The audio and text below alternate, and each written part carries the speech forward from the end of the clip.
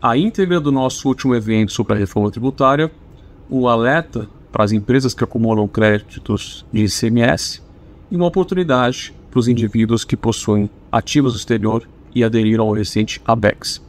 Eu sou Matheus Bueno e esse é o resumo do nosso Tex e Ponto, um informativo do Bueno Tex, com notícias de destaque do universo tributário brasileiro, direto ao ponto.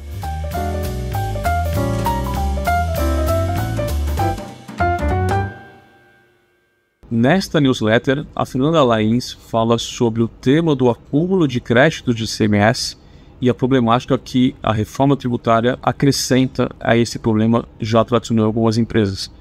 E eu avalio uma oportunidade que temos percebido que alguns contribuintes perderam quando aderiram ao recente ABEX e atualizaram os ativos que possuem no exterior. Acesse o conteúdo completo dos nossos artigos em bueno.tex e se inscreva para receber a nossa newsletter mensal.